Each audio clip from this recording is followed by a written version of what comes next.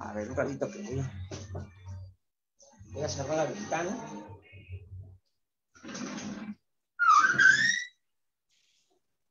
Listo. Ya está Evelyn también, Evelyn Mérida.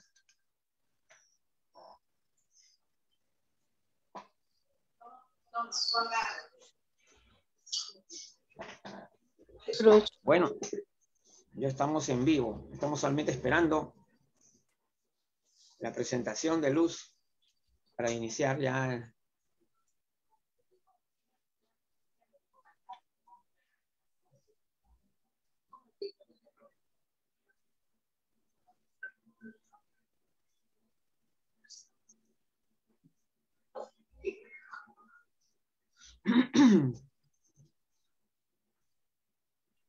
Ajá. Listo, ¿qué tal? Buenas tardes a todos, ¿cómo están? Buenas tardes. Bien, Luz. Buenas tardes. ¿Cómo les fue hoy? Bien, buen día. todo bien, todo bien. Todo bien, todo bien. Muy bien, pues primero que nada, quiero darle la bienvenida a las eh, miembros más recientes de la Red Internacional 2, que son todas nuestras compañeras de Guatemala, que más adelante las van a escuchar con su participación. Quiero agradecer la presencia de, de, cada uno de ustedes y los que posteriormente lo verán más tarde. El tema que abordaremos hoy es sobre factores protectores ante la soledad. Sin embargo, primero vamos a hablar sobre qué son los factores eh, protectores y cómo se han ido desarrollando. ¿De acuerdo? ¿Todo bien hasta aquí? Muy bien. Voy a dar un poquito una explicación y posteriormente vamos a seguir con el conversatorio donde cada uno va a tener que, que, compartirnos alguna de sus ideas. ¿Ahí me escuchan bien? Sí, muy bien. Está claro. Muy bien. Sí. Perfecto. Vamos a empezar. Los factores protectores son condiciones o atributos que ayudan a las personas en general, no nada más a las personas mayores, a llevar eh, o a lidiar de una manera mejor contra algunas situaciones o problemas. Pueden ser enfermedades, pueden ser eh, situaciones de la vida diaria o pueden ser eh, patologías psicológicas. ¿De acuerdo? Ahora, eh, ¿cómo surgieron estos factores de riesgo? Muy, ah, les voy a platicar. En el ámbito médico y psicológico, normalmente y anteriormente y por mucho tiempo, como a todos nos ha pasado. Hoy. Se paralizó luz. Hay sí, un creo que ahí. se un congeló. ¿no? Sí, sí. Sí, Lucia. ¿Qué tal Sí, ahí? bueno. ¿Ya? ¿Ya volví? Y ahora sí, ahora sí, estás de vuelta. Estás de vuelta, estás de vuelta. Estoy de vuelta. Muy Bien. bien, les platicaba que los factores eh, protectores surgieron a base de una eh, persona que se llama Albe. Albe es A-L-B con doble E, ¿sale? Eh, Esta persona se dio cuenta que eh, a las personas en general nos diagnosticaban algo que se nos había descompuesto y lo arreglaban, que es lo que normalmente nosotros conocemos que hacen los médicos. Se nos rompe un brazo y nos dan una solución para que pueda seguir funcionando. Nos da diabetes, nos dan algún medicamento para seguir produciendo esa insulina que nos está produciendo. Entonces, para esta cuestión, esta persona que se llama Al, Albi o Albe, eh, dio una solución y tomó una perspectiva diferente, la cual consistía en no solamente centrarnos en eso que ya estaba dañado o alguna alteración que tenían, sino verlo de una manera preventiva, donde a partir de esta situación que iba a desencadenar, desencadenar algo, nosotros lo íbamos a resolver por medio de habilidades. Estas habilidades se dividen en dos, que nosotros las conocemos actualmente como resiliencia y los factores protectores. La resiliencia son aspectos internos de nuestra personalidad que podemos resolver y los eh, factores protectores son factores que van relacionados a nuestro contexto, a nuestro ambiente. ¿De acuerdo? Ahora. Vamos a ver una diferencia entre factores de riesgo y factores protectores, porque yo sé que de repente puede surgir alguna relación y nos podemos revolver. ¿De acuerdo? Hay, los dos tienen en común que son aspectos del ambiente, ¿de acuerdo? Sin embargo, los factores de riesgo van a generarme un desarrollo del problema y un factor eh, protector me va a dar menos eh, probabilidad de desarrollar el problema y más de generar una solución. ¿De acuerdo? Ahora, eh, hay diferentes tipos de factores protectores que son los individuales, pueden ser biológicos o psicológicos. Los biológicos puede ser que para evitar que yo tenga una obesidad, mi factor protector va a ser tener una nutrición adecuada. Un factor individual psicológico es una autoestima o la resiliencia que les comentaba hace rato. Otro tipo de factores eh, protectores son los ambientales, que puede ser variado el sistema socioeconómico, el tener un acceso a la salud, el, que, el tener acceso a la información, el tener eh, acceso a, a, varias, eh, al sector privado y social que en muchas sociedades nos, nos brindan. Ahora, tenemos por otra parte el tercero, que son los factores protectores sociales. Estos van a depender de las relaciones intrapersonales que nosotros generamos. Pueden ser eh, nuestra familia, nuestros amigos, las redes de apoyo que nosotros vamos a generar para eh, poder combatir cualquier eh, problema o situación que vayamos a tener. ¿De acuerdo? Ahora, este, lo que va a pasar ahora es que lo vamos a relacionar con la soledad. Como bien ya hemos dicho en algunos otros conversatorios o en algunas otras ponencias que han dado diferentes expertos, la soledad puede ser por decisión o por no decisión. Cuando es por decisión que tú dices, yo quiero estar eh, eh, sola, disfruto mi soledad, me gusta hacer mis cosas sola, se respeta. Sin embargo, eh, también hay que tomar en cuenta que debemos de tener algunos factores protectores para afrontar esta soledad, que aunque estés en tu derecho de aceptarla, la puedas vivir de una manera correcta para que con el tiempo no vaya a desencadenar en cosas. También está una soledad donde la persona no decidió estar sola, pero las circunstancias la llevaron a, vivir esta soledad. Entonces, aquí es donde eh, los expertos deben de intervenir eh, considerando cuáles son los factores de riesgo y cuáles factores protectores podemos encontrar en cada una de las personas para eh, guiar este proceso. Ahora, basado en los tipos de factores que les mencioné hace un momento, cada uno de los miembros de la red 2 va a dar su opinión e incluso si alguien quiere participar está abierto. Van a dar eh, algunos ejemplos de factores en situaciones que ustedes quieran para eh, empezar a abrir un poco el diálogo. Vamos a empezar con... Sorela. Sorela. Sorela, ahí está Sorela. Sorela, por ahí ya la vi, que se me escondió y apagó la cámara. Ahí, ahí vuelve, Aquí estoy, aquí estoy, aquí estoy. Bueno, no, lo que pasa es que, a ver, yo simplemente quería pues como eh, darles la bienvenida a las compañeras de Guatemala que se unen a la Red 2, darle la bienvenida a Luigi, como siempre, que está ahí orientándonos y guiándonos, y al doctor Juan Campaña, que se ha vuelto un gran seguidor de la red 2, doctor Juan. Gracias por acompañarnos, qué rico.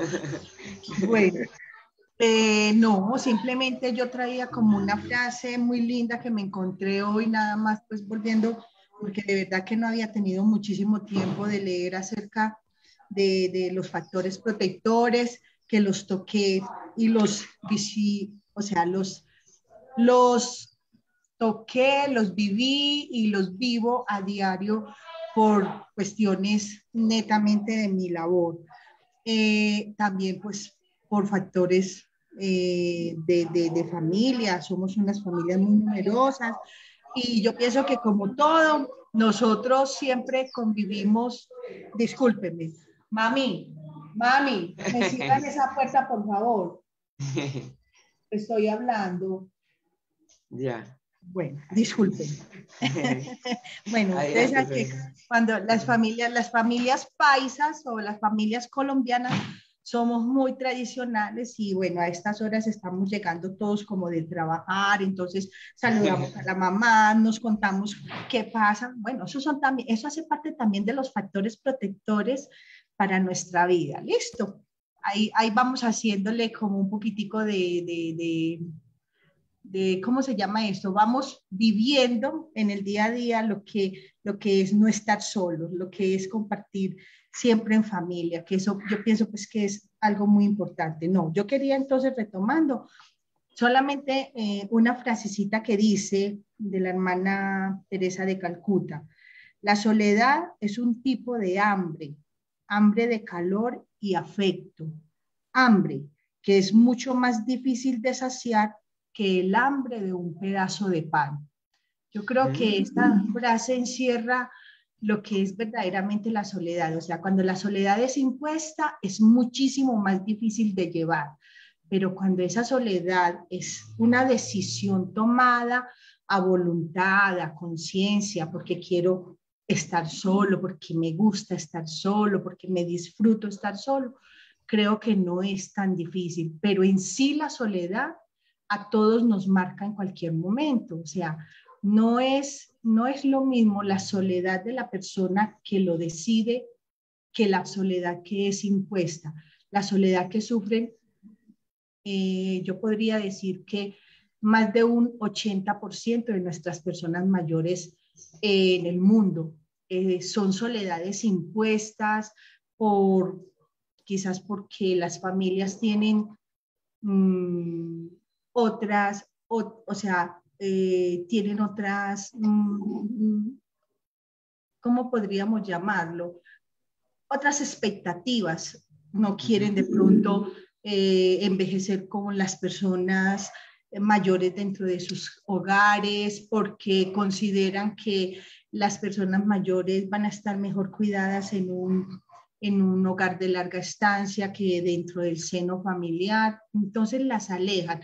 Y la pandemia nos mostró muchísimas cosas. Yo pienso que una de las principales mm, marcas que nos ha dejado la pandemia es que tenemos cientos y miles de personas mayores afectadas no solo por la pandemia, sino por la soledad, por la ausencia de seres queridos, porque infortunadamente les impusieron soledades dentro de las eh, dentro de, de generarles un cuidado o una protección.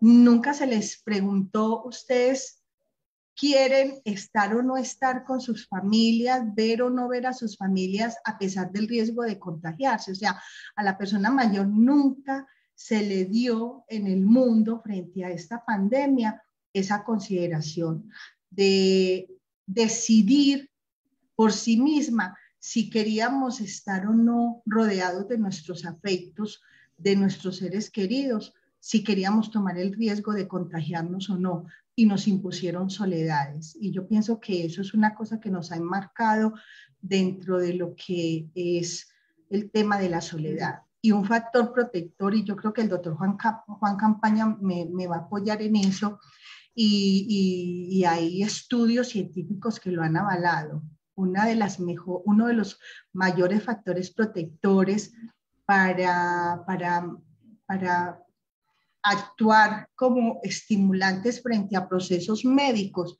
es el cariño del otro, el afecto del otro, el cuidado del otro, el sentirse acompañado, el sentirse contenido. Entonces yo creo que en esa parte eh, ese es un factor protector eh, hacia la soledad, el, el estar, el sentirnos queridos, el sentirnos valorados, el sentirnos acompañados, el sentirnos que hay alguien que, que, verdaderamente se, se, preocupa por nosotros. Entonces, yo pienso que la charla de hoy para todos nosotros nos, nos envuelve en esto. O sea, la soledad impuesta no es buena. La soledad decidí, de, cuando se decide y se adquiere por decisión propia, es más llevadera, pero sigue siendo soledad. Yo pienso que la soledad sigue siendo y sigue estando ahí, que quizás afecta menos cuando se decide y se toma esa decisión a cuando se es impuesta. Eso es como lo que quería pues como compartir hoy. Muchas gracias, Marisore. Excelente. Este, muy, muy eh, interesante todo lo que mencionas y muy bonita o muy reflexiva la, la frase que nos compartiste. Ahora quiero escuchar lo que Jessica Zavala nos va a decir sobre qué factores protectores podemos adoptar o tú nos aconsejarías ante la soledad? Adelante, Jessica. Hola a todos, buenas tardes. Em, primero que nada, este, a nosotros desde siempre no nos enseñan este, a estar solos o nos dicen, no, es que la, la soledad este, es mala, no nos enseñan a estar con nosotros mismos. Y como mencionaba el doctor Juan Campaña, este, hace un momento antes de iniciar, que este, hay personas que eligen vivir solas, aunque no es lo más adecuado, pero podría ser adecuado si se tiene un autocuidado y una responsabilidad. Es decir, si, este, si yo sé que requiero, no sé, de un bastón, que requiero eh, de tener este, teléfonos de emergencia, a lo mejor que tengo alguna enfermedad, tener a la mano toda esa documentación de tipo de sangre, eh, las enfermedades que tengo, por si, por si llegara a pasar algo, ¿no? Pero también, este, para poder llevar a cabo esta soledad, pues lo que requerimos hacer es, este, por ejemplo, planear actividades para como ejercicio físico, tener un sueño saludable, hábitos de higiene buenos, eh, disfrutar de nuestro tiempo libre. Y sí, sí, siempre estar acompañados de, de la familia, aunque no al 100% se está acompañando al adulto mayor, pero igual nosotros tenemos elección de, de, este, de ir, por ejemplo, a un centro de, de día, de formar nuestras redes de apoyo y con eso nos va, vamos a llevar a cabo lo de la soledad. Muy bien, Jess. Muy bien, eso de, tienes razón en eso de crear una rutina a nuestros días y que no solo sea como disfrutar por disfrutar, sino que sea un objetivo donde tú sepas qué, qué vas a hacer y por qué estás disfrutando. Si te vas a quedar sin hacer nada, eh, ¿por qué lo estás disfrutando? Darte tus cinco minutos Milky Way como el comercial y seguir con tu día. sí, es decir, me voy a poner a ver de la televisión, voy a leer un libro, eh, hoy quiero aprender esto nuevo y, pues dejar de lado estos estereotipos de, que ya llegamos a la vejez y ya se acabó todo, porque eso también eh, creo que aísla mucho a ciertas personas mayores. Entonces, pues es importante. Ahora quiero escuchar qué tiene una miembro destacada de la central informativa como Genoveva Suárez. Genito, ¿qué tienes que decir? Dímelo ya.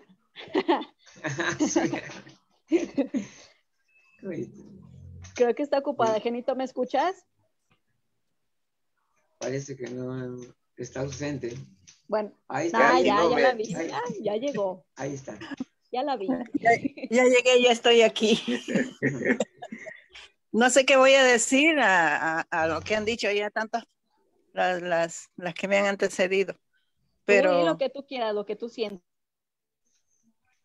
Para mí, bueno, será que yo todavía no he experimentado el, eh, es un momento de soledad, ¿no? Este, siempre estoy rodeada de mi familia, incluyendo la, la este tiempo que estamos viviendo con la pandemia. En ningún momento me, han dejado solos mis hijos porque yo tengo la suerte de vivir con, una hija y perenne. Ella está conmigo siempre en todo momento. Y mis hijos también los tengo como vecinos, entonces estamos ahí siempre comunicándonos, cualquier cosa, pero sí, yo a mí me consta de que tengo muchas compañeras que están solas, verdaderamente solas, ¿no? Y me parece que eso es lo que más les, les acongoja porque no pueden ver a su familia, no pueden comunicarse como debe ser, porque hablar por teléfono no es lo mismo que conversar este, persona a persona. Eh, se sienten como, como inútiles ya, como a veces dicen, no, este, yo le pido a Dios que ya me, me recoja porque no me, no me gusta estar así encerrada en un, sobre todo en esta pandemia, ¿no?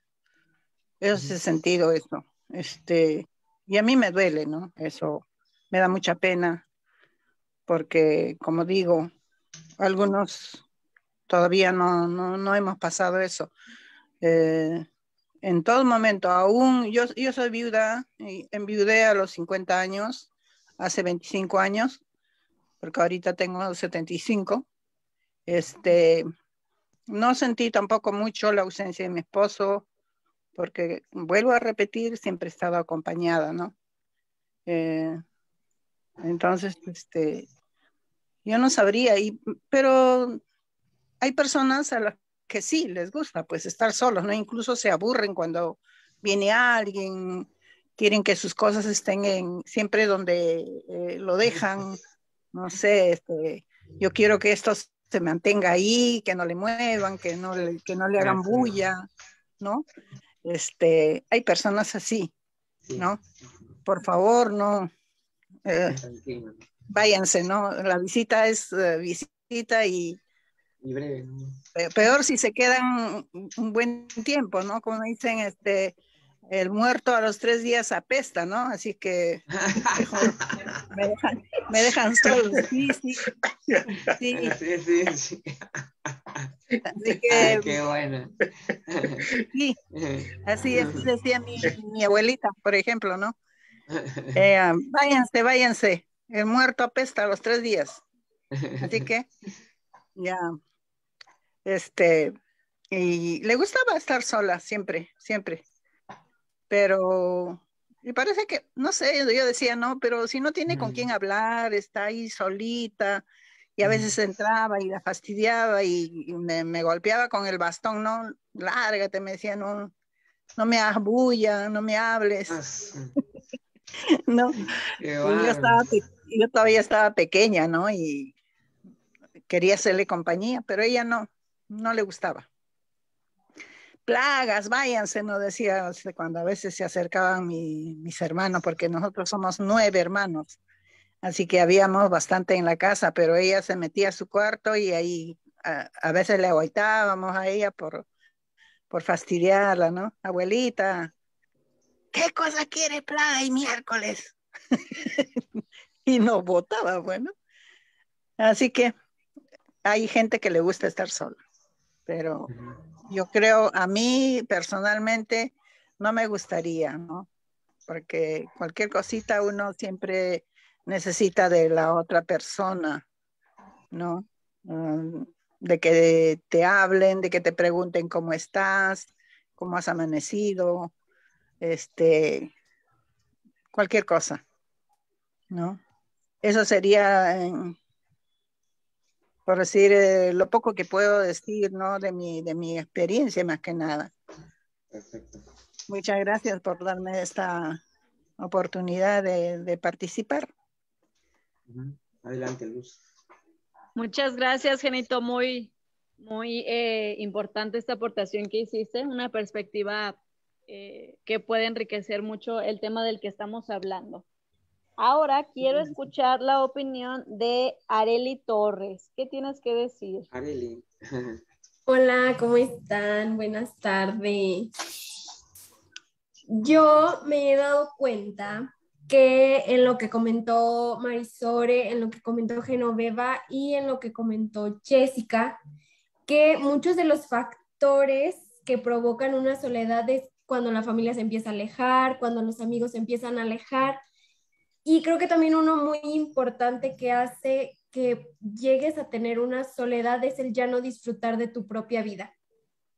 El decir, no, es que yo ya no quiero ir a ese lugar porque como ya estoy grande eh, y te empiezas a alejar de las actividades que normalmente hacías, dejas de tener el interés hacia esas actividades y tú mismo de alguna manera vas provocando en parte tu soledad que comienza con el abandono de parte de la familia también y como factor protector, está bien el acudir a grupos de, ya sea de baile, de actividades, de cualquier grupo que sea, porque ayuda a fortalecer las redes de apoyo que también mencionaba Jessica. Ayuda a, fortalecer las, las redes de apoyo, tu interacción social y todo ese tipo de cosas. Y el ir a grupos no está mal, que también es algo que tenemos que como intentar cambiar la perspectiva de los grupos de personas mayores o de los grupos de jóvenes, porque lo primero que te dicen es que yo no estoy enfermo. yo no voy a ir a ese lugar porque yo no estoy mal, yo no estoy esto, yo no estoy el otro, cuando en ningún momento se les dice o se les pide que vayan por alguna enfermedad. Entonces estos grupos también son parte importante del para poder tratar una soledad. Exacto, tienes razón, Areli. Igual como nosotros, un grupo, un grupo como el que dices, puede ser simplemente salir por un cafecito y la, echar el chismecito. Porque el que este apoyo no nada más es eh, que sean grupos, eh, la típica actividad que les ponen las personas mayores, sino un, un, grupo donde puedas compartir, no sé, me duele la cabeza, ¿qué me puedo tomar para la cabeza? Y compartir consejos y no, ¿sabes qué? Este, pueden checar los videos de la central informativa y ahí aprenden mucho. Juntarse a ver las sesiones de central informativa también es un grupo de ayuda. Es un grupo. Ahora quiero escuchar a, qué tiene que decirnos Raiza. Por ahí ya la veo muy lista. A ver, ah, está Raiza. Raiza. Tu primera participación. Ajá. Hola, buenas tardes a todos. Mucho gusto. Les agradezco mucho la oportunidad de pertenecer a la agrupación. Y pues estamos aprendiendo, estamos conviviendo y es, es genial, ¿verdad? Aprender, convertirnos a un mejor ser humano, tener más capacidad para cuidarnos nosotros mismos y a los demás que nos rodean. Entonces es bastante genial. Em, también convivir, aunque sea a la distancia, eh, conocernos, conocernos mejor nosotros mismos, qué piensan otras personas, qué piensan los expertos. Y en este caso específico, pues em, la soledad es tanto que decir de eso, bueno, malo y de todo. A mí me impresiona mucho. Yo en mi perspectiva tengo demasiado con esto porque mi mamá tenía Alzheimer, lo tuvo por desde que se lo diagnosticaron hasta que murió por 21 años y medio. Fue toda una experiencia porque nosotros ni habíamos terminado de crecer, somos dos, dos hermanas, y fue más difícil todavía porque mi, mi hermana mayor este, también tenía padecimientos mentales y no lo sabíamos. Así que fue bien complejo. Mami detestaba la soledad, no le gustaba la soledad, jamás quiso vivir sola y nos tenía mucho con ella. Y para mí era un placer, era un placer realmente, pero em, sí, ella conforme fue avanzando el Alzheimer, fue teniendo cada vez más necesidad de más asistencia, aunque ella era peculiar, porque ella, em, ella este, pues, em, tenía mucha capacidad, casi toda la enfermedad, ella tuvo mucho el recurso de su propio cerebro, increíblemente. Te podía contar cosas, sí te retenía información. A mí me impresionaba porque tenía mucho apego por la música y era capaz de recordar información nueva. Y en el Alzheimer no es así, pero ella sí tenía una capacidad increíble y eso le ayudaba mucho. Sin embargo, tenía muchos riesgos, factores de riesgo, porque no recordaba qué horas tenía que comer y al principio usábamos estufa de gas, pero inmediatamente yo lo descarté y tuvimos que comprar una eléctrica porque ella dejaba a veces, tenía el impulso de calentar la comida que yo le dejaba hecha en lo que me iba a trabajar, pero luego le dejaba escapando el gas. Y menos mal, esta casa tiene muchas ventilaciones, pero si a veces uno se levantaba y el olorcito a gas, o yo venía del trabajo y el olorcito a gas, entonces era, era muy desafiante. Ella murió.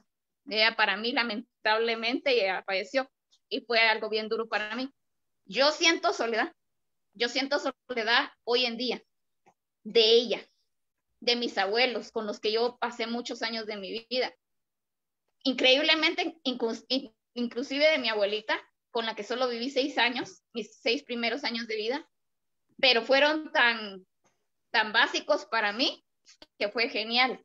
Y ahora, hoy en día, con toda mi familia, pues yo vivo con la mamá, eh, con mi, eh, la hermana de mi mamá, y pues siempre he vivido con ella. Y también conviví con mi tía, otra tía que es prima de ellas, que ya falleció este año, y mm, ella estaba sola a ratos. Ella tenía una experiencia de que los hijos, un hijo ya estaba muy grande y, y ya estaba casado y vivía lejos y el otro hijo trabajaba casi todo el día, entonces nosotros la teníamos que apoyar bastante.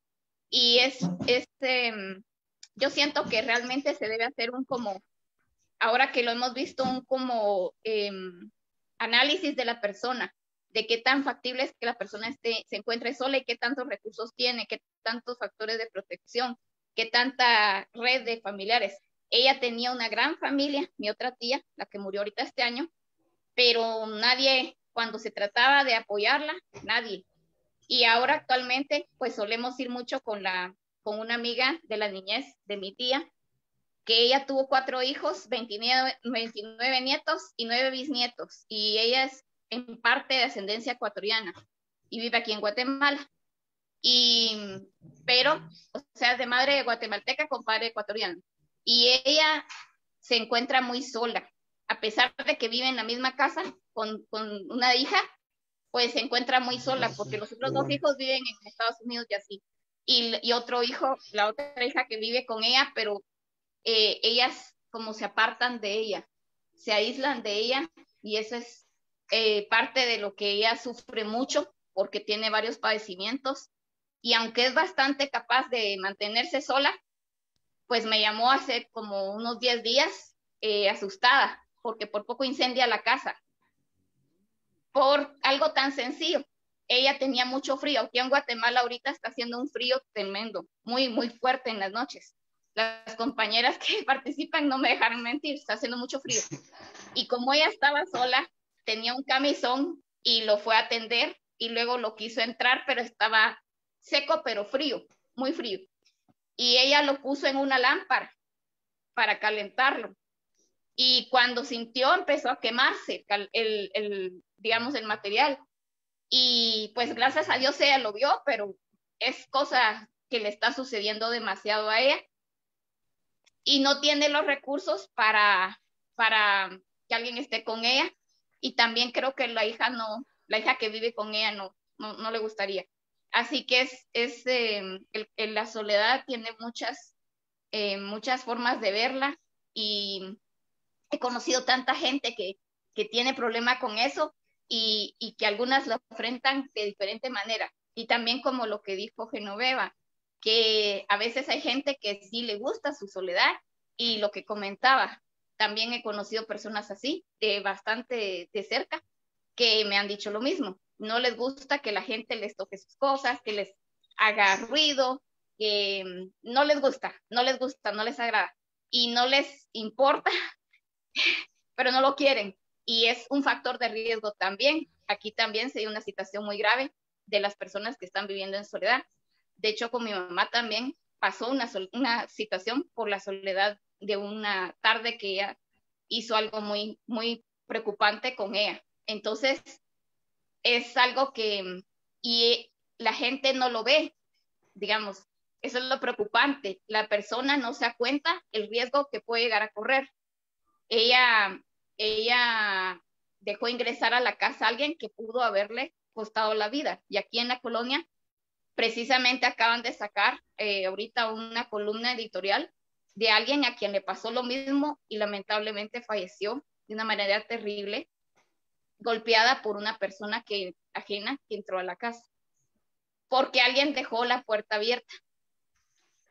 Y es, es algo bien, bien difícil y bien tremendo, porque aunque la persona que murió y fue afectada vivía muy bien y era una persona muy, muy, como decir, muy inteligente, muy centrada, tenía muchos, muchos recursos para poder vivir bien y, cuidar de sí misma aparentemente, pero en un momento dado eh, no es suficiente, no es suficiente el estar solo, aunque tú seas capaz y muy independiente y no tengas enfermedades o padecimientos que te impidan, pero el estar solo, pues es algo siempre un factor de riesgo muy grande.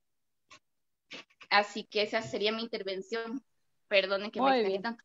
No te preocupes, muy bien, Raiza. Y algo muy importante que comentabas, más allá de los eh, factores protectores individuales, eh, qué es lo que nosotros podemos hacer, por ejemplo, el generar nuestras redes de apoyo que bien ya mencionaban anteriormente, es también eh, tomar en cuenta estos factores protectores ambientales de lo que hay en nuestro entorno. Si yo sé eh, que la mm, llave del gas se puede abrir, eh, ¿qué, ¿qué, factor protector voy a tomar en cuenta para este factor de riesgo? Si yo sé que mis escaleras están muy peligrosas, ¿qué factor de riesgo voy a tomar si yo vivo sola y no hay alguien que me pueda ayudar? Sí, sí me doy a entender este tipo de factores. Si yo vivo sola y no viene al, mi hijo una vez a la semana, que me ayude a hacer la despensa o que me ayude a aprender el boiler o esas pequeñas tareas que van a hacer la diferencia y que son factores protectores que van más allá de lo personal, sino que puedes ir preparando poco a poco para eh, hacer un poquito o un muchito eh, mayor, de mayor, eh, que esté más condensado este entorno que tienes y que el riesgo de, de algún problema o situación adversa pueda reducir. Muy bien. Ahora quiero escuchar la opinión de Mirela Osorio. Por ahí ya la vi hace ratito. Sí, está ¿Qué opinas? ¿Qué opinas, Mirela? Buenas tardes. Buenas tardes. en cuanto a eh, los factores protectores ante la soledad, eh, yo veo como un factor protector el hacer o el promover que el adulto mayor eh, Mirela, creo que se escucha como un tronidito en tus audífonos, no sé si no estén bien conectados, como alguna hay una interferencia. ¿no? hay una interferencia. A ver, háblame otra vez. ¿Ha mejorado? Hay un sonido. Hay un sonido como alguna interferencia. Sí. Como una especie de estática, mire.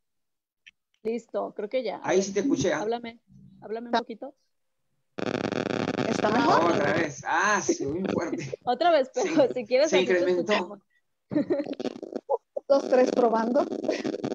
Sí, está todavía ese ruido, bien fuerte. Sí, está. todavía un ruido como de interferencia. A ver si lo puede solucionar y ya pase a otro.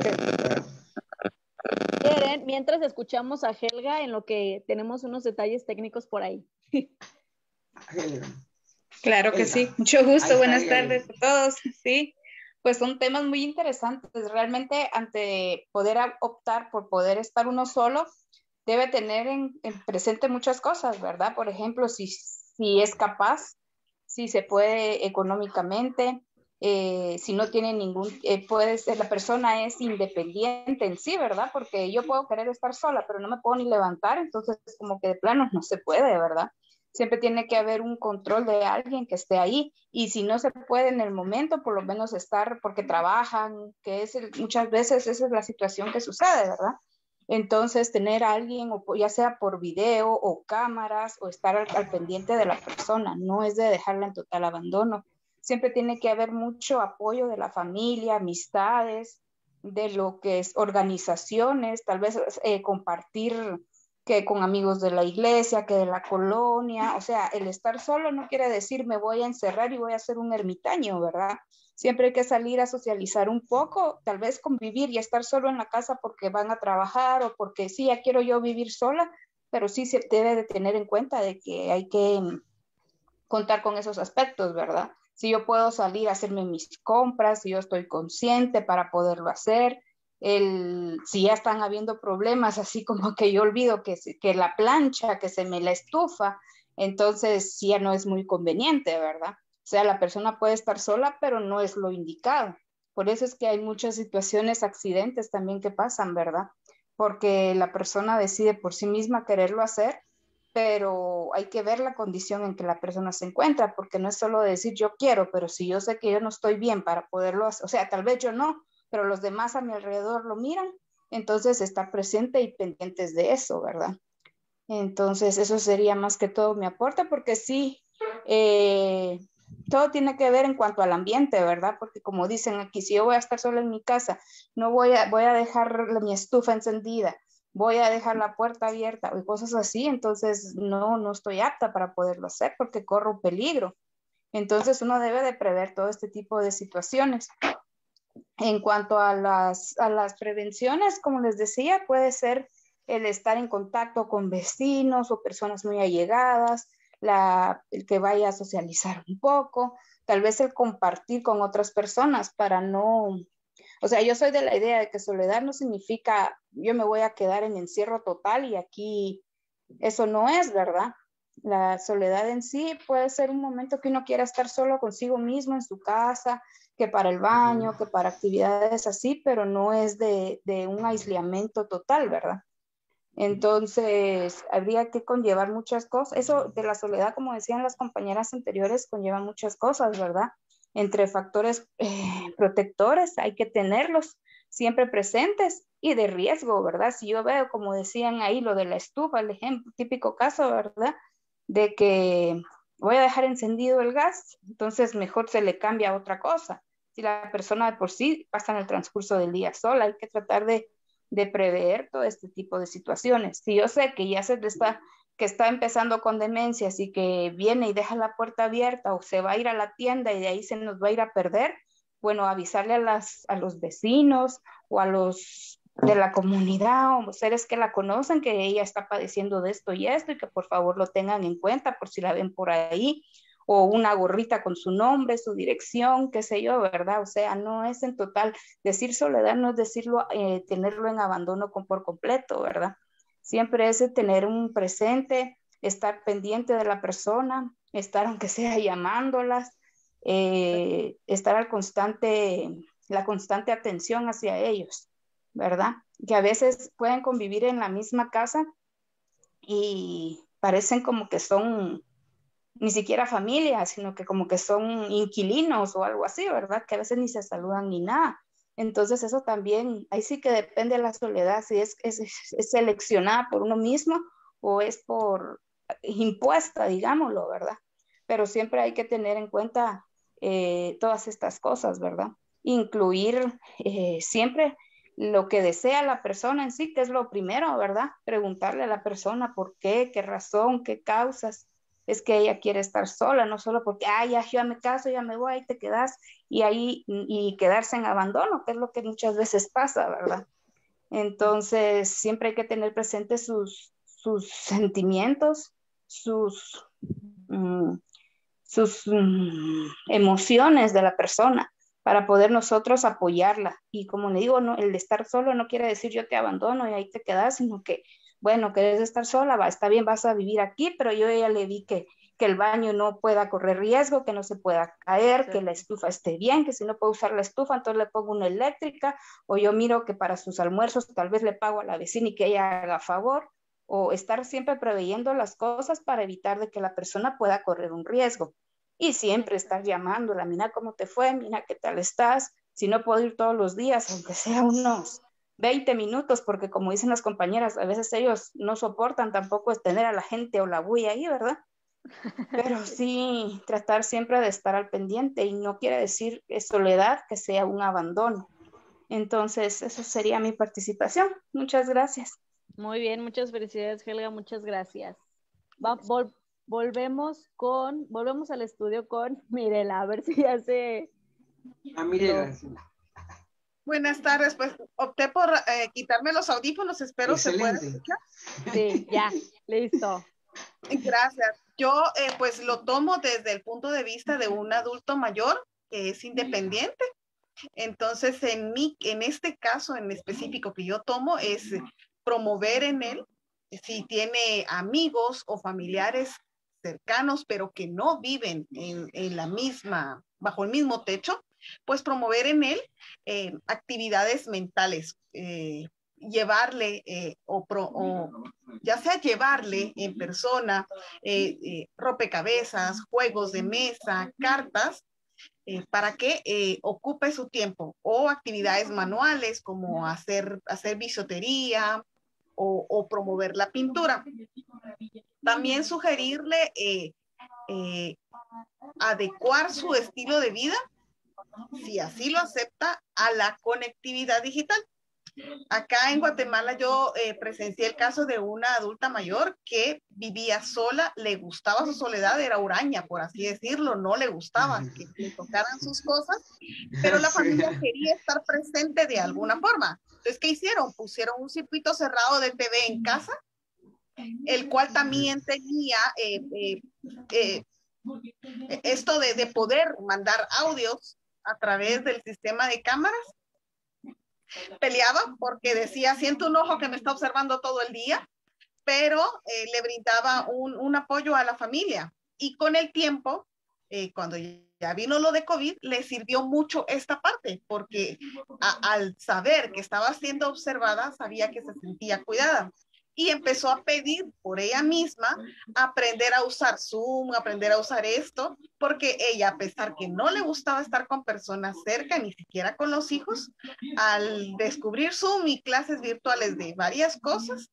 pues se incentivó más a ir de su caparazón de soledad.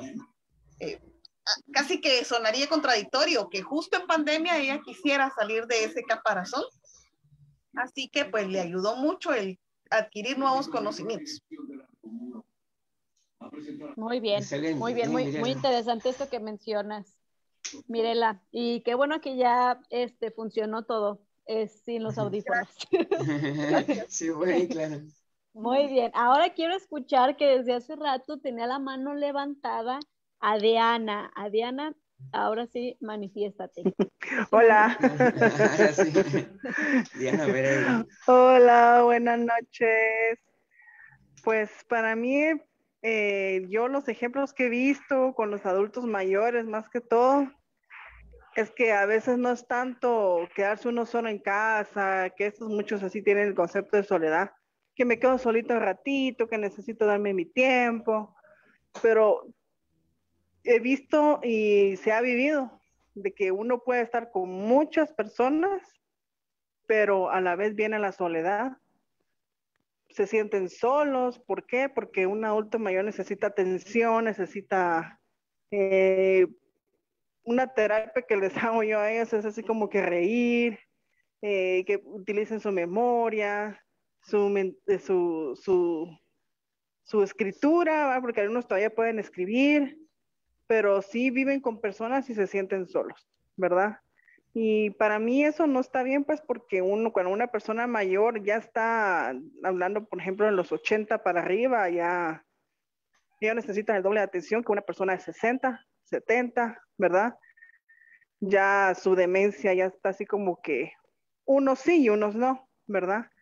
Pero sí, la soledad sí tiene, sí les afecta bastante, les afecta bastante porque yo conocí una, mi expaciente, la expaciente, porque ya, ya está bien, gracias a Dios, que vivía con sus hijos, vivía con sus nietos, pero lamentablemente ella se sentía sola, ¿verdad? Ella se ponía feliz cuando llegaba yo o llegaba otra persona que la cuidaba y decía, me siento sola. Lloraba porque se sentía sola y toda la gran bulla ahí, jugaban con ellos, pero lamentablemente así es, así fue la vida de ella. Así que la soledad no es tanto estar uno solito, vivir así en soledad, vivir solito en casa, hacerlo. Es bueno hacer todo ese tipo de cuestiones cuando uno lo puede hacer solo o acompañar a los, a, los adultos mayores. Pero sí la soledad puede ocasionar hasta la muerte.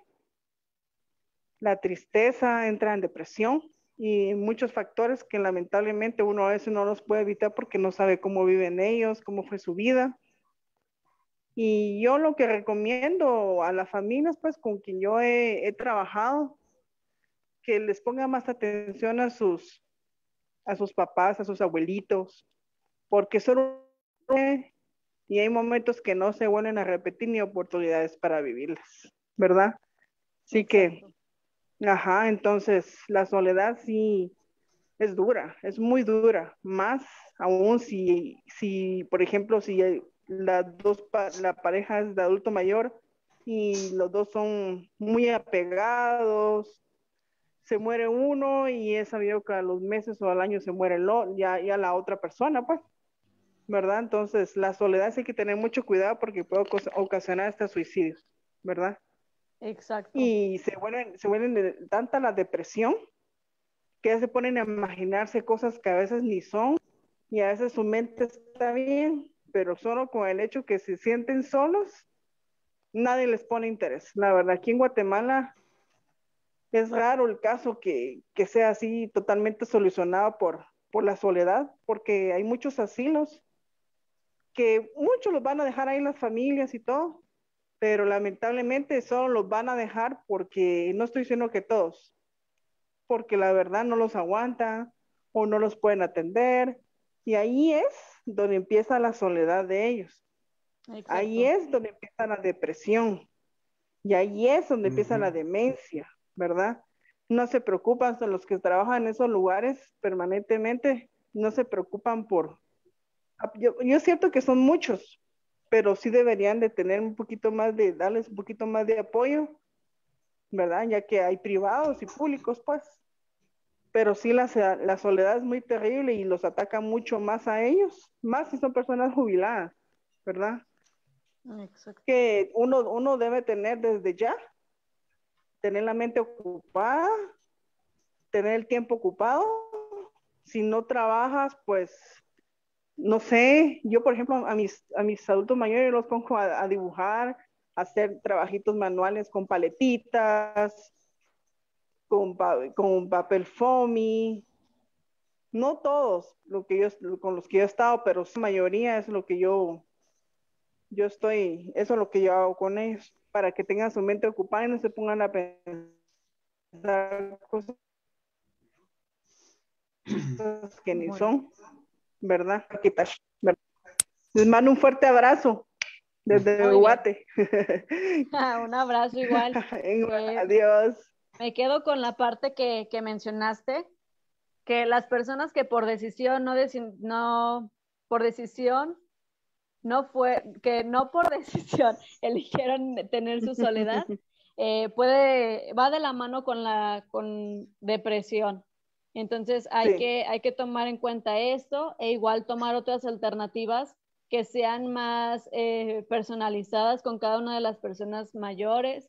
Si tú supiste que fue algún contador, eh, hacer alguna actividad relacionada que vaya más allá de solo hacer eh, esto que mencionas de alguna manualidad, sino que de, verdad sea algo que le interese y que pueda generar el desarrollo de la persona mayor. Que vaya eh, más allá eh, de eh, hacer actividades como en algunos asilos hacen actividades solo por hacerlas, sino que sea con un propósito y un objetivo como tal, donde se, se genere esta parte, ¿no?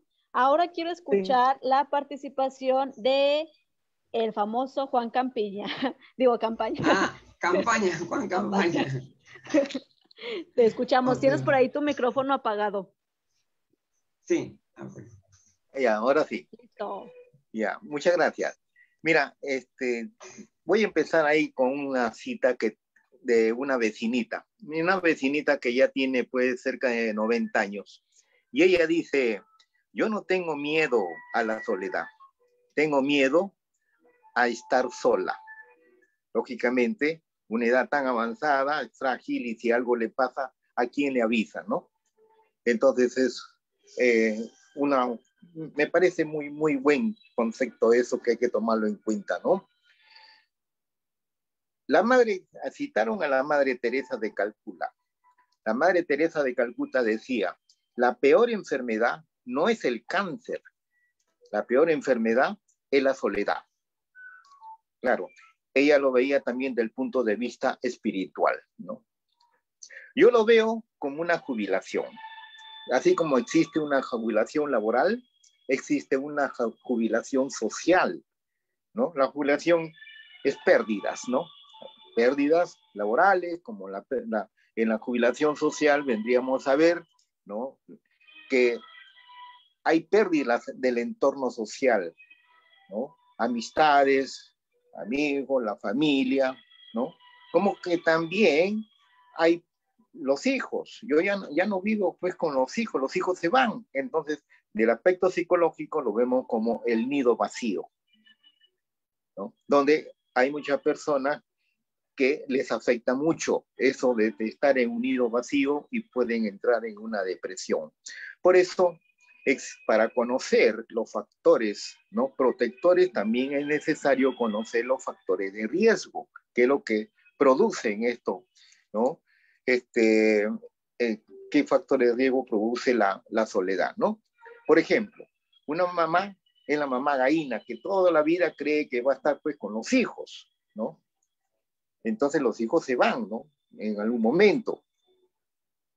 La dependencia, ¿no? Todo quiere que le hagan, ¿no? Es una persona muy dependiente. Baja autoestima, la resiliencia, Y hay algún factor que también lo considero como factor de riesgo, que es la, la soltería, ¿no?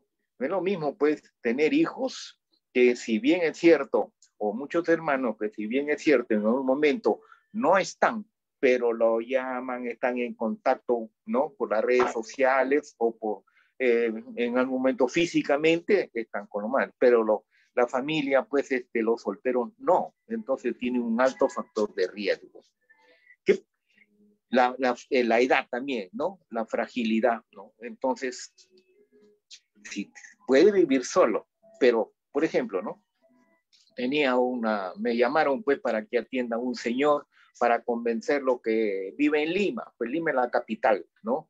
Porque él vivía en una provincia y estaba solo, ¿no? El señor ya tenía 98 años. Entonces, él no quería vivir en Lima, ¿no? Porque él se sentía mejor. En Lima es una ciudad muy convulsionada, ¿no? Tú no puedes salir, pero hay delincuencia, no puede mucho auto. Entonces, lógicamente, una persona acostumbrada a la vida campestre y en plena libertad y no puede, no le pasa nada, entonces no quería estar acá. Entonces, más bien terminé convenciendo a la familia que lo regresen a su sitio pero acompañado, porque 98 años es una persona frágil y no puede. No, me dice, yo me cocino solo. ¿Cómo se va a cocinar solo? Pues un día sí, un día no, que, que por comer, que, se, que comerá, ¿no? Por cocinarse. Entonces ahí también puede eh, haber una desnutrición por no tener una pues, alimentación adecuada, ¿no? Los factores protectores, ¿no? ¿Cuáles son? Por ejemplo, la gratitud ¿no? Como decía la Madre Teresa, ¿no? estar agradecido a la vida, ayudar al prójimo, ¿no? Porque tú si tú ayudas a las amistades, va a llegar el momento que cuando tú lo necesites, ¿no? A María, pues que era tan buena conmigo, pues entonces todo el mundo a la visita está pendiente por ello, ¿no? Entonces hay una, digamos, alguna forma, pues de que no esté eh, sola, pues si no siempre va a estar acompañada, ¿no? Entonces, el amor, el ayudar al prójimo, compartir familiarmente, ¿no? Uno quiere esperar mucho de la, de, ¿no? De, en su vida, pues, ya adulta, si no, tampoco no ha aportado nada, ¿no? Cuando está joven, por ejemplo, mi papá, ¿no? Ya adulto mayor, ya en su vejez, nunca estaba solo. ¿Por qué? Porque fue el tío querido, fue el padre querido, el abuelo querido. Entonces tenía un montón de gente pues, que lo rodeaba y estaba lleno, pues, y él eh, de, amistades y relaciones que él se sentía feliz. Él me dice, no, yo no quiero viajar, a mí me gusta que me visite, ¿no? Por otro lado, este, la, la edad también, como digo, es este, la, la, fragilidad y el amor, ¿no? Eh, es vivir pues acompañado, ¿no? Entonces existen las relaciones interpersonales, ¿no? Las amistades, las amistades, pues, ¿no? el aspecto social. Ya mis amigos se van, pues, despidiendo de esta vida, uno se va quedando solo. Entonces, al estar solo, también va pensando más, ¿cuándo me toca? ¿No? Como dice el, chiste, veo todo el día el periódico, ver si en la página de funciones está mi nombre, ¿no? Entonces, tenemos que verlo desde ese punto de vista también, ¿no? De que las personas van sufriendo por ese aspecto de ir quedándose solo porque ya las amistades se van yendo. Entonces, como quien dice a mí, cuando me toca. Entonces, eh, el, eh, como decían también ustedes, ¿no? La relación, las, las amistades, la comunicación, ¿no? Eh, la, en, hoy día por la pandemia no lo podemos hacer, pero vivir pues este comunicado es, es muy, muy importante, ¿no? Ahora, física, la, la, mejor, pues la mejor forma de, vivir es la parte, digamos, social, ¿no? Social, presencial, porque como dice la, el estudio que hizo la, la, Universidad de Harvard, que duró 75 años, el factor más importante de la felicidad es el aspecto social, ¿no?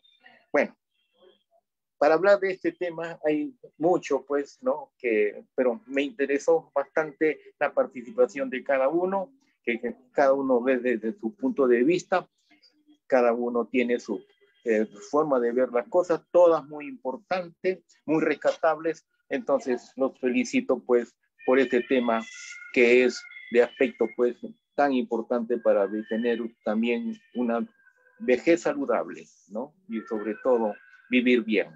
Gracias, Luz. Muchas gracias a ti por todo ese conocimiento que nos compartiste ahorita a, a todos nosotros. Por ahí yo había visto que quería comentar Doris Sequeira y ya vamos, ya vamos cerrando después de ella. Para que no se haga tan, tan largo. Doris, ¿estás ahí? Sí, estoy tratando de encender la cámara, pero eh, no quiere. Eh, yo quería eh, compartir que la primera parte de la, de la sesión se estuvieron refiriendo más que nada al hecho de vivir solo. Y en el vivir solo puede darse todo lo que comentaron las características de vivo sola por decisión propia o vivo sola porque me dejaron viviendo sola, que es la que a veces cuesta eh, acostumbrarse a esa decisión no tomada.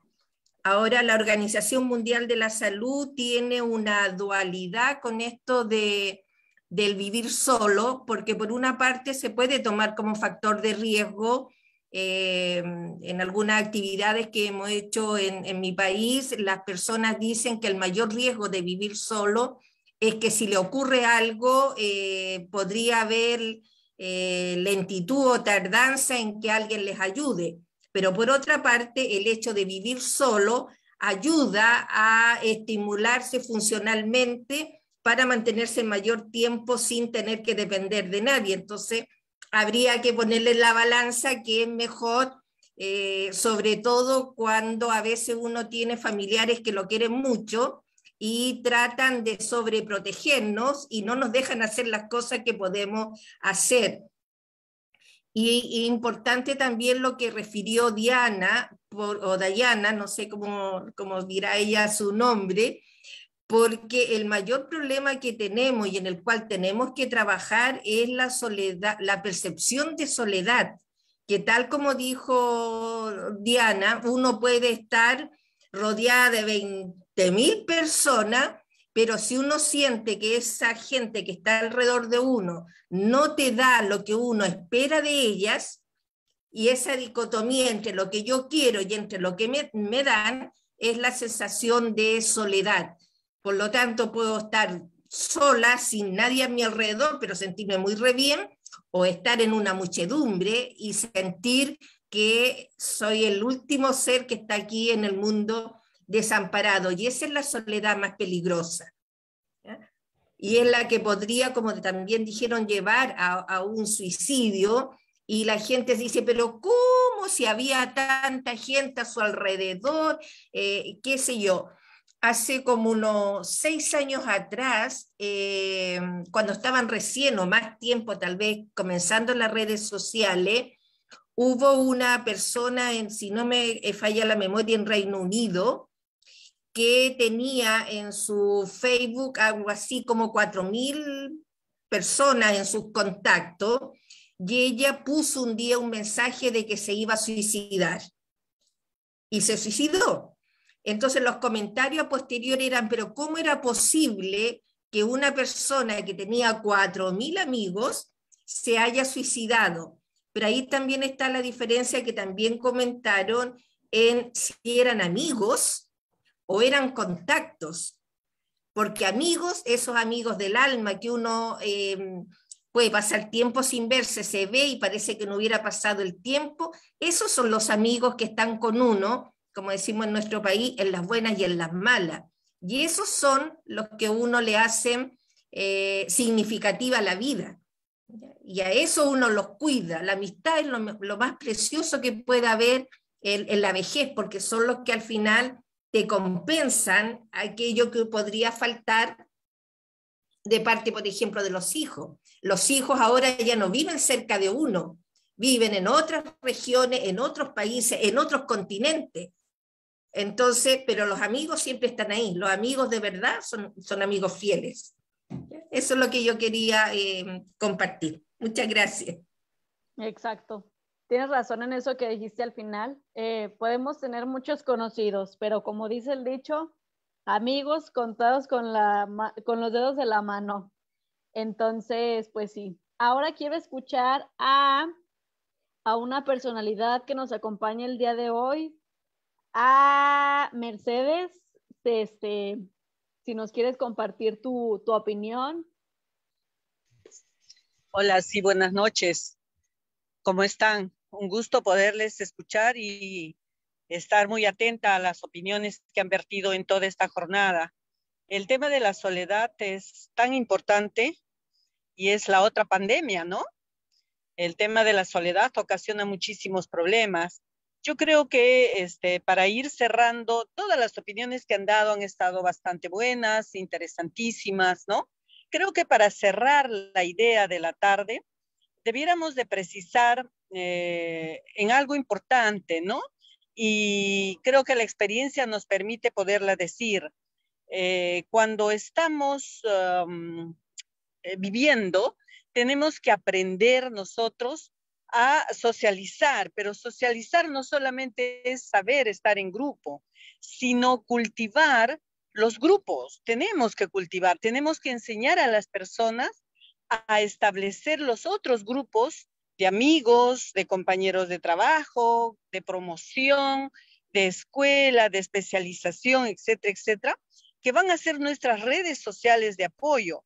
Por si la familia nos falte, vamos a tener efectivamente, como dijeron ustedes muy bien esta noche, vamos a tener una gran cantidad de amigos que no nos van a permitir eh, sentirnos solos. Ese es un concepto. Otro concepto es el tema de aprender y creo que ahí viene la tarea también nuestra de los gerontólogos y tiene que ver con atención primaria en gerontología. Tenemos que aprender nosotros a manejar las relaciones, las comunicaciones. Alguien dijo, alguno de los participantes dijo esta noche, que va a depender mucho qué tipo de, de adulto mayor eres, qué tipo de viejo o viejita eres. Eres una persona este, cariñosa, carismática, alegre, bonachona, que sabes dialogar, que sabes conversar, etcétera, etcétera. O eres de esas personas renegonas, aburridas, que no te llega nada, que todo te aburre, te fastidia y que pues eh, espantas, ¿no? Y nadie, y nadie quiere estar a tu lado. Te visitan los hijos y lo primero que das es una queja de tu mal estado de salud, ¿no? Entonces, yo creo que también eso es una estrategia que tenemos que enseñar a todos y aprender todos, ¿no? A saber manejar estas formas de comunicarnos, ¿no? Esta, esta manera de comunicarnos para poder estar siempre em, rodeados de personas que gratifiquen con su compañía nuestra soledad, entre comillas. Y lógicamente el otro tema es de eh, tener que em, enseñar a, a, las personas y aprender nosotros mismos a tomar nuestras decisiones, ¿no? ¿qué es lo que queremos? ¿Vivir en soledad o, vivir solos o vivir en soledad? Que es casi lo mismo que dijo Juan, Juanito Campaña, ¿no? Eh, comentaba de una vecina que tenía. ¿Qué es lo que queremos nosotros, no? ¿Vivir solas? Pues vivimos muchas, muchas personas vivimos solas, ¿no? Que es muy distinto a vivir en soledad. Entonces yo creo que esos son conceptos que este, estaríamos ah, mm, precisando esta noche de repente como corolarios de toda esta conversación tan agradable que han tenido ustedes y que pues yo las felicito a todas ustedes. Gracias.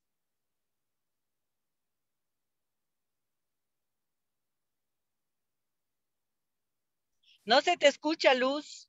Te cortaron el audio. Ah, me cortaron el audio y yo hablando bien sola.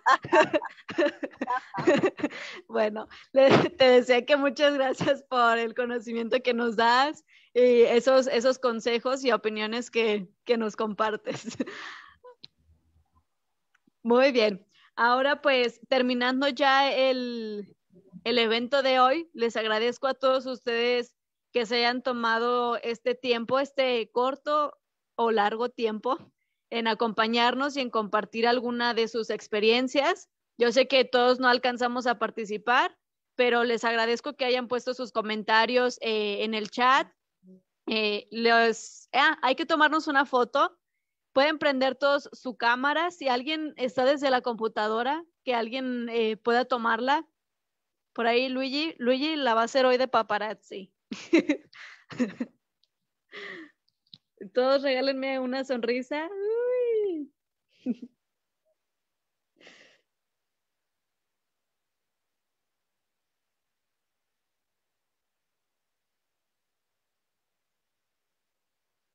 Avísenme cuando tomen la foto para dejar de sonreír.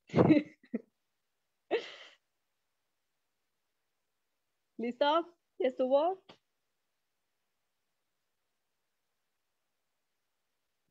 ¿Sí, Luigi, o qué? ¿O no? Ok. ya se me entumió el cachete. Luigi, tienes apagado el micrófono. Hay a recordarles que lo del 17 de diciembre, ¿no es cierto? Tenemos ya nuestro, nuestro evento anual, ya el día 17 de 17 diciembre. de diciembre, viernes, para que no se lo Cae. pierdan. Cae, cae viernes 17 de diciembre a las 6 de la tarde, que viene a ser el evento anual de la Red Internacional número 2, la jornada gerontológica que se va a realizar ese día. Ya, entonces, por Luigi. lo tanto, sí. Luigi, Sí. por favor, permíteme invitarles a la, a la tertulia del Ah, también. día miércoles, Adelante, por adelante. favor. Vamos Adelante. a trabajar, sí, este miércoles vamos a tener, en la red 1 vamos a tener este, mm, una tertulia con un tema muy interesante, interesantísimo, que tiene que ver con la formación académica de los cuidadores. Vamos a Ajá. trabajar la temática de los cuidadores formales e informales, los cuidadores de, de adultas, de personas enfermas y de personas sanas. Vamos a tocar varios niveles y varios aspectos en la formación y este, nos va a presentar una experiencia interesante de em, Costa Rica, ¿no? Donde a, los cuidado, a los cuidadores les han dado categoría de técnicos, ¿no? De profesionales del nivel 1 sería en la planilla, ¿no? En la escala, en la escala tributaria, en la escala profesional Excelente. pero también este, la experiencia de Chile, donde han desarrollado eh, con Amanos, han desarrollado un trabajo de cuidadores muy, muy interesante. Vamos a tener dos participantes ahí. Entonces, por favor, no se pierdan la reunión de este miércoles. Va a estar Mm. así, interesantísimo, porque creo que ya tenemos que ir redondeando estas, Sí. estas temáticas tan importantes con los niveles académicos en la formación de los profesionales y de los técnicos. Excelente. Gracias, la- los esperamos. En realidad, claro, esperamos. de hecho, de hecho todos tenemos que estar el día miércoles, que está súper interesante. Y también recordarles, como siempre, nuestro programa gerontológico de todos los martes a las 6 de la tarde, que esta vez vamos a tener un tema relacionado con los mitos, con las, con la, respecto a la alimentación de las personas mayores, ¿no? Un tema bien interesante a cargo de la nutricionista mexicana Gabriela del Carmen Asensio, que también forma parte de la red internacional número uno. Pues bien, así ya sabemos, son dos eventos consecutivos, ¿ah? Mañana a las Exacto. 6 de la tarde y el miércoles a las 6 y 30, por si acaso. No a las 6, no se vayan a confundir. El miércoles es a las 6 y 30 de la tarde. ¿Ok? Muchas gracias. Entonces, Hasta, Hasta luego, que mañana. tengan bonita noche. Hasta mañana. Feliz noche. Chao, chao, chao. Adiós, buenas noches. Adiós, buenas noches. Saludos.